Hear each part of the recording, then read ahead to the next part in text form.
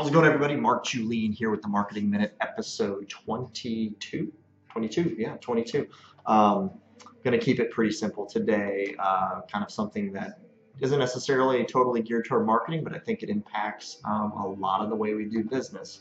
I've had this uh, nifty device, this Galaxy Note 2, for a little over two years now, and uh, it's kind of running on its last leg. I've dropped it enough that uh, I, it's it's doing some funny things.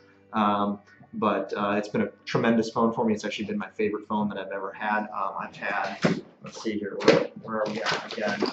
Uh, another Samsung device, um, a Motorola Droid. Um, I had a Windows phone, I think, at one point. Um, but I've, I've stayed in the Android family um, for my last three phones. And but my whole house has a bunch of Macs, Apple products. I do run off of a PC at the office, and I'm a, I use Google for a whole lot of things. But question to you guys, I'd love to know your feedback, especially those of you that already have it.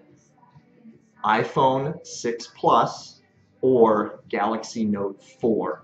Not sure how many of you maybe have looked at the Galaxy Note 4 yet, or how many of you have gotten a, an iPhone Plus or 6 Plus. I'm sure there's more 6 Pluses out there just uh, with the demand, but what are your thoughts? What phone should I get next? See ya.